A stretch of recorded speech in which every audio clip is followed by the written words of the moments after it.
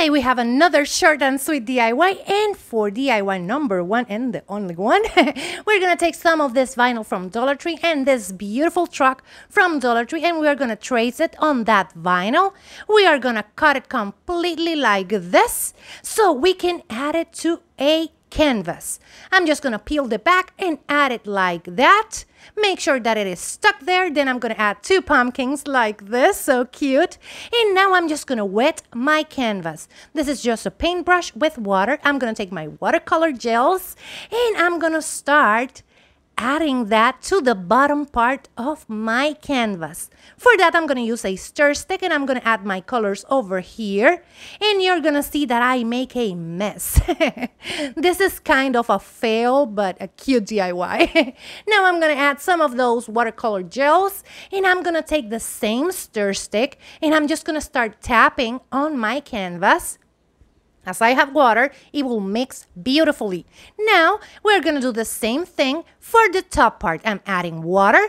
Then I'm going to take my beautiful blue colors from the FolkArt watercolor gels. I'm going to leave you all the names in the description box.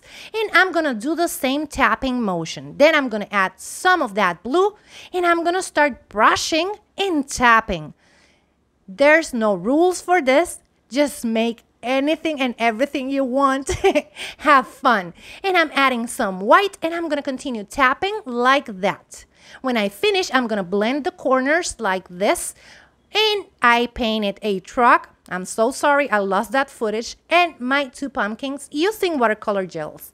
Now I'm going to take my paint pens from Apple Barrel. And as you can see, this one has the tip just made up.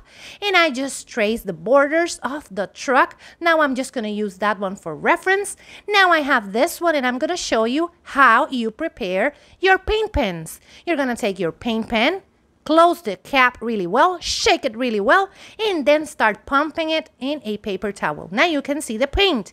And now I'm going to keep adding with my beautiful paint pens and making the pumpkins and now I'm gonna make some trees using my paint pens.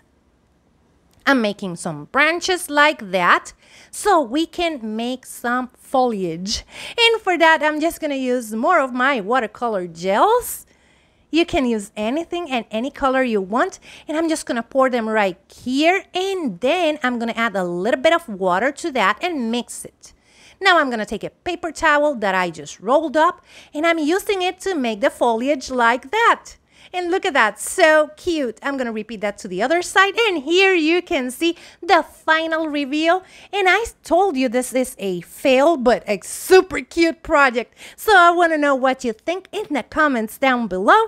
Remember that you will find the list of all the products that I use in the description box. I'm going to be making a giveaway, so stay tuned for that one. I'm going to give you all the rules later on. Take care, my beautiful friends. See you next week for more Halloween DIYs. Bye bye.